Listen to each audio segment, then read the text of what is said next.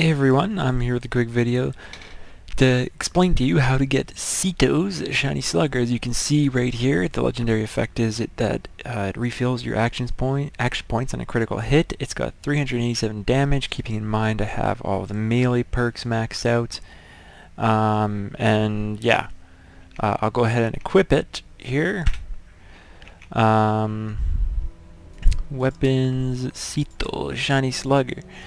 So, okay, when you head up to Safari Adventure, which is the north northernmost location, pretty much, of the different sections of the park, you're going to start uh, the quest for Safari Adventure.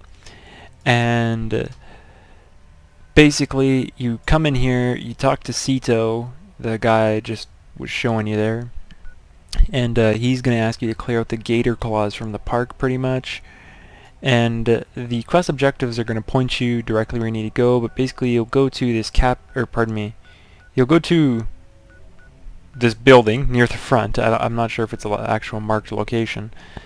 Um, and then you'll go to a door it's locked so you need to find the password. So you'll head out here to the angry anaconda and there's a little like a um, sort of like trailer bunker type thing there.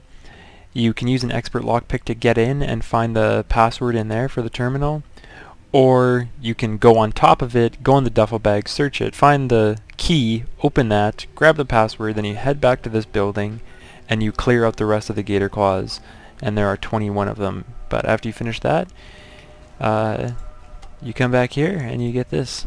So that's what it looks like and uh, that's how you get it. So if you enjoyed the video, then likes and comments are always appreciated. More Nuka World content is on the way. Um, and until next time, bye for now.